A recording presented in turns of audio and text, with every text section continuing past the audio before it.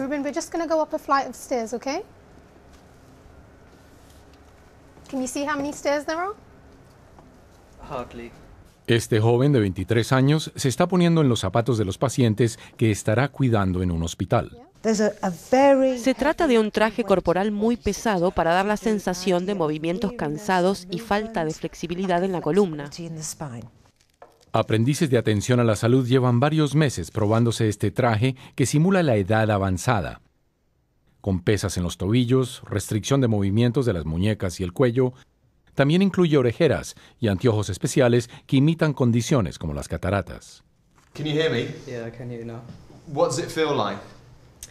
It feels very heavy. I barely can move myself. Cada traje cuesta un poco más de 3 mil dólares y toma unos 5 minutos en armarse. Se empezó a utilizar tras unos escándalos de negligencia en el sistema de salud británico, cuando cientos de pacientes fueron desatendidos y maltratados con poca empatía. El simple caminar es extremadamente difícil. El estrés en las extremidades y la espalda es considerable. Cuando uno se coloca estos anteojos, la experiencia es peor. Podrán ver que tengo contracciones en mis manos.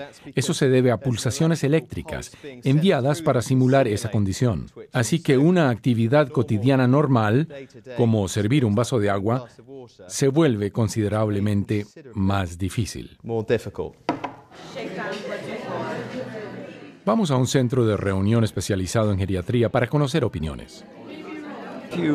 Si se le restringe los movimientos de esa manera a una persona joven, no cabe duda que le enseña lo que puede esperar de la edad avanzada.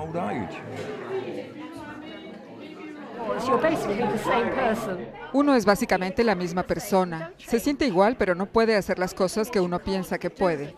En mi cabeza me siento de 40 o 50 años, pero tengo 75 y eso me desconcierta. Por esa razón se espera que este sistema pueda desarrollar un mejor entendimiento del cuerpo y mente de los ancianos y conducir a mejores cuidados.